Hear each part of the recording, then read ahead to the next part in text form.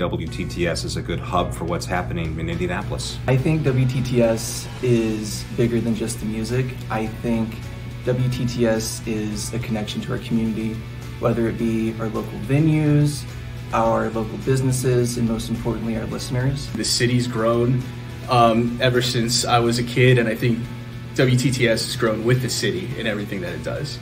But radio, especially in a local market, you know there's always going to be people listening, right? I mean, your station is always in the top. In terms of the arts, or if somebody wants to do something in the community, this is a place where if you do it, people will notice and you'll get a shot to actually uh, make an impact. I just want to reach out and use our and use this great vessel and oh my gosh the wattage here and i think the community we have here at wtts besides the people that work here it's the listeners it's the advertisers it's the it's the businesses and the charities we support um, we're all kind of in this together for with with music being the common core of what we all believe in. makes WTTS different from a lot of other radio stations here in Indy, especially in the last few years, is the focus on local. Um, and that goes beyond just what we say on the radio.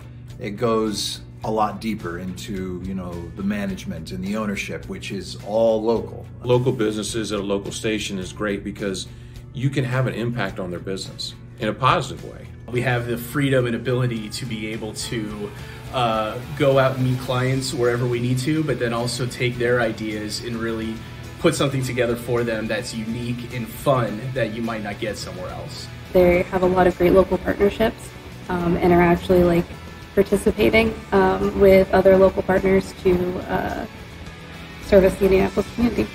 Community is, you know, where we all live and work and kind of share responsibility to make things better around us. Um, and I think that WTTS does a really good job of involving our station in things that can help build up our, our, community and the and the people who live here. Being involved in the city, being involved uh, with our listeners, being involved with our local businesses, unlike other places here in town that are controlled by mega corporations in Los Angeles, being locally owned and run by a local team makes all the difference in the world. I think about all the things that we've done from Rock to Read, Rock on the River, uh, can concerts, support for the Indiana uh, School for the Blind, support for Veterans Matter and the Veterans Golf Association.